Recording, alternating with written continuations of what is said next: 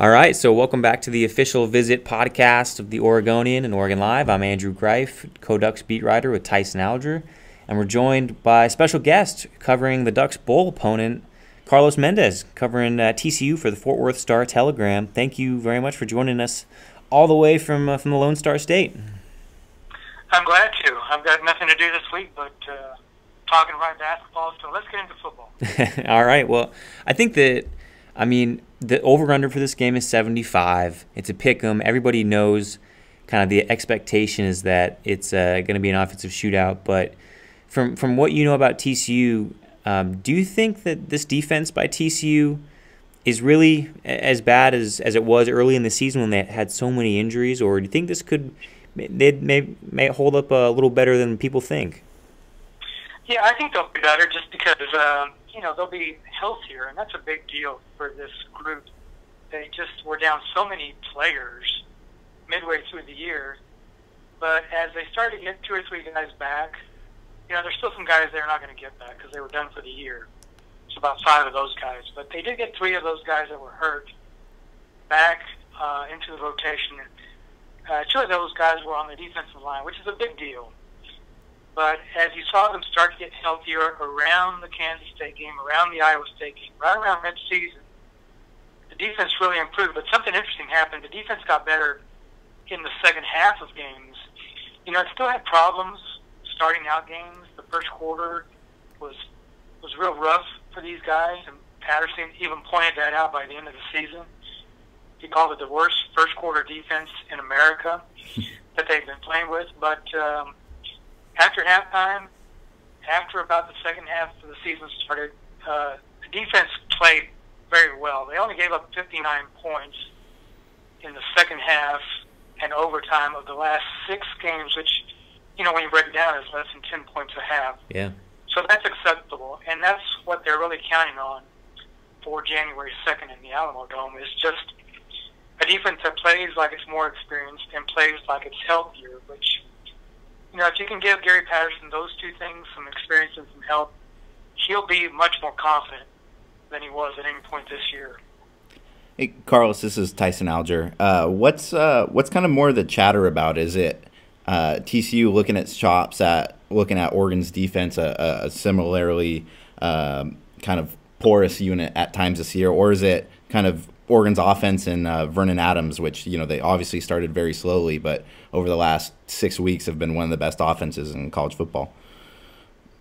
You know, I imagine they're trying to look at ways to exploit the defense uh, for Oregon because that's that's been TCU's calling card this year is scoring points on offense and really getting that air raid to hum. Because the best part of their team is Trevone Boykin, and if he's operating at peak efficiency and if his receivers are catching the ball. You know, they're going to score points, and that's the way they've won games all year.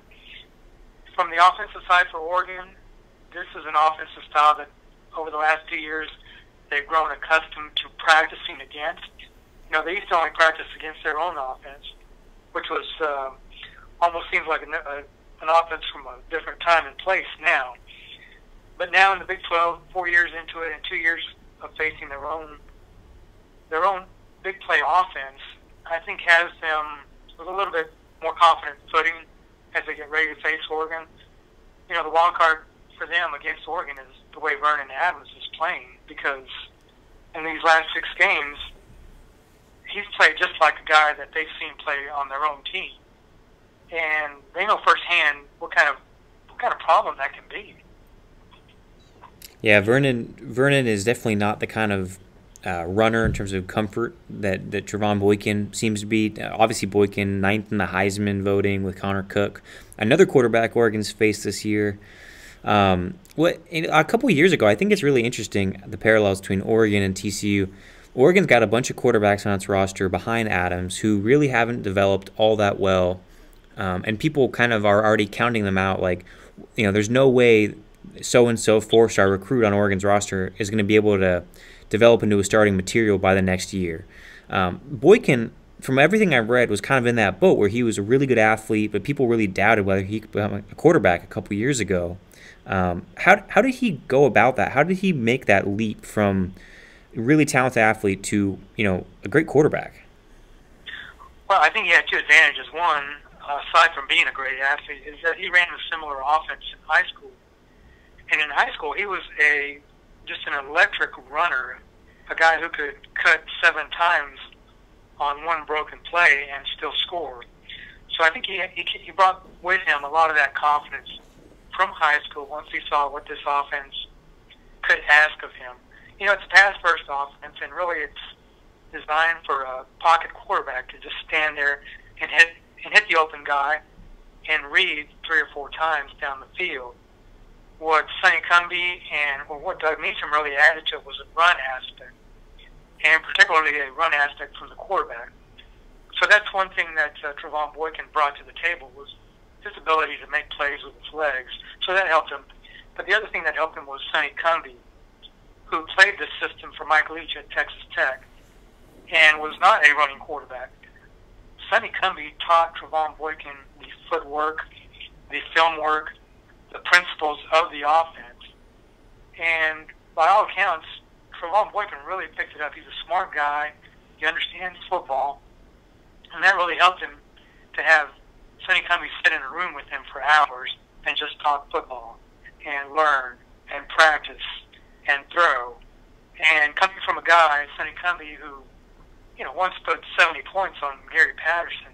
That carried a lot of weight, not only with Patterson, but with Boykin. This was an authority, and a guy who had the numbers at Texas Tech to show you what this offense could do. So I think that's what turned it around for Trevone Boykin. One, he had done something like that before, and two, he had a terrific quarterback coach who could lead him right into this offense and show him exactly what to do and how to do it. So compared to past years, I would say uh, for most Oregon fans, the Alamo Bowl is kind of a, a, a, step down, obviously, since they played in the national championship last year. But with how poorly this year started, where two months ago they were even wondering if they were going to reach a bowl game, I would say, you know, the Alamo Bowl is a pretty good consolation for the Ducks. How does TCU view it? Because you know, three weeks ago, if they, you know, if they come out with a win against Oklahoma, they're probably playing in the playoff this week, or in a couple weeks. Yeah, this was not um, this was not part of the grand master plan for TCU this year. They certainly thought they had a team to reach the top four, and from where they started in the polls, number two in both the AP and coaches polls. You know, it's like starting in the front row in NASCAR race. You're you're good enough to get there if you can just you know keep your engine from breaking down or just avoid an accident. Problem is that they did have an engine breakdown. You know, Josh Doctson did get hurt. They did lose a game. Trevone Boykin did get hurt. To go along with the 23 other guys that got hurt, either missed the season, a game, or part of the game this year for them. But still, to finish at number 11, to finish with 10 wins, and to end up at a good bowl, you know, in the big picture, that's fine. In the small picture, it's disappointing because that's not where they wanted to be at this time of the year. But getting to play Oregon, I think for them is a big deal because this is one of those programs that they consider that Gary Patterson last year told us is one of the new royalty in college football, and that's the kind of thing he's trying to follow, the, the kind of the kind of pattern he's trying to emulate, which is become one of these teams that people think of year after year in terms of those teams that compete for a national championship. Even if you don't do it every year, you need to be one of those teams that starts out the year in position to do it. But what I mean by that is top 10, top 8, top 6. Somewhere that if things break right for you all year, you're in that top 4. You know, maybe you even lose a game, but you're still in that discussion. Sort of like Alabama is. They get a lot of benefit of the doubt just because they're there every year. So Oregon, he calls a resume game for them, for the program. They need to beat one of these teams that's there every year. And if you can get that out of this year, without with all the injuries, still with having lost two games, I think they'll call that a successful year. What? I mean, you can kind of look at all the stats all day and look at kind of where Oregon's strong and TCU's weak and vice versa. Uh, but you've watched this team obviously up close all season and, and you kind of know its weak spots and its strengths. What what's one kind of Achilles heel that you think Oregon might be able to to perhaps take advantage of of TCU? if I was Oregon, I would call it the pass interference play. You should run that. You can have success with that against TCU. They had a problem with that all year. And I've been meaning to do this, I haven't yet, but I need to count up the PIs that they totaled uh, for the season. It had to be 30. It might have been 25 or 30 because they had problems with that all year. They asked their guys to cover one on one so they can stop the run. And a lot of years they're able to do it, but you know, in the Big 12 there are so many good receivers that it is just tough, and it was tough on them. So that's an area that um, you know clearly I think most people would agree was a weakness for TCU is just that single coverage on the corners. You know, plus they lost one of their starting cornerbacks in game three against SMU, so you know they didn't have him all year, and they're moving safeties to linebackers, they're borrowing safeties for cornerback. You know, there's been a lot of moving parts in the secondary. It's just been hard for them to get their feet on that, but they're not going to change. They continue to ask their guys to cover their man, play the ball, and make a play. And when it works, you're you're fine. You're stopping people. When it doesn't, you're giving up big chunks. And you know, people exploited that all year. It started with SMU and it continued all the way into the final game. You know, Baylor tried it too, and they got a couple PIs on their first two drives in the last game of the year. Now, the rain eventually was a great equalizer, but you know that's one thing that that I would watch for from both sides of this game is what can Oregon do to exploit that, and can TCU fix it? The uh, I guess conversely, other than Trevone Boykin, because Helfrich all week has been saying it's not just two guys, it's not just Josh Doctson, it's not just Trevone Boykin. They're deeper than that. I know he mentioned, you know, had a fair amount of praise for Aaron Green, the running back, who's got 1,100 yards. Um, it, besides those two usual suspects, Doctson and Boykin, who's the guy on offense who you think has to have a good game if they want to be successful? Well, a guy who's helped them a lot this year is a freshman. He's just a little five-nine scat back kid named KaVontae Turpin, who is elusive as heck. He's like a mosquito. You just can't catch him. And he's a uh, returner. He returns punts and has been back there on kickoffs, but he's also a slot receiver, and he wound up being uh, the second leading receiver for the team, second leader in touchdown catches anyway. You know, he had four in one game against Texas. So this is a guy that's very dangerous, and if they can find a way to get them the ball, get him the ball in space, uh, I think they're going to try because you know we're going to be indoors, we're going to be on carpet, and for speed guys, elusive guys, cut guys like KaVontae Turpin, that's that's ideal. That's what that's what they want to play on. So I would look out for this guy. You know, beyond the names that you know, if I was if I was Oregon watching the game, uh, this is a guy that'll try to get the ball to a lot. It almost sounds a little similar to uh, Taj Griffin for the Ducks, who has been used increasingly yeah. more throughout the year. Uh, obviously, obviously, this bowl game is much closer to TCU than Oregon.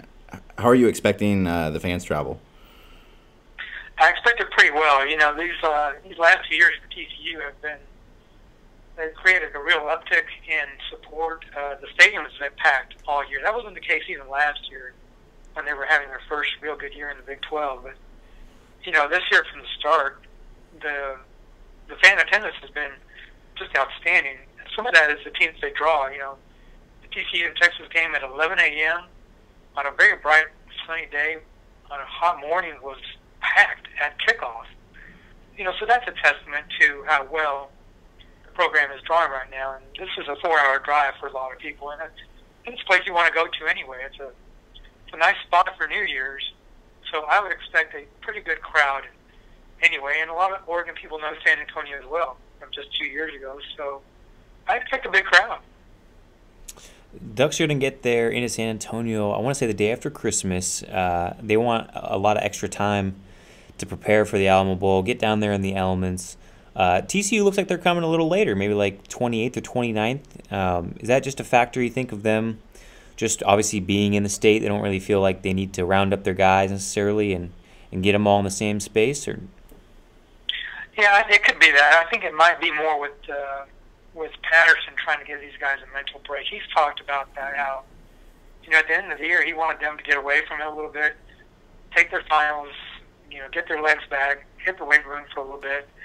So it may be that they're delaying start of their practices just a couple of days, and that's probably reflected in their uh, departure calendar. They do uh, they do leave on Monday the 28th, so that's what six days before the game, five days before the game. And I know the bowl requires you to stay five nights in town, so that's right on that schedule.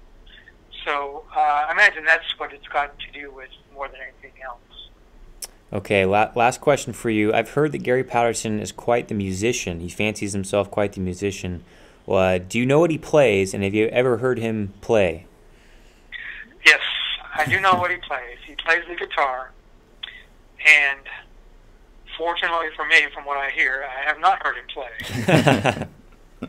but uh, no, he, I think he's pretty good on the guitar, um, and he's played a few uh, few shows around town. You know, every once in a while he'll pick up a guitar and just uh, start playing at an event. You know, just for some people.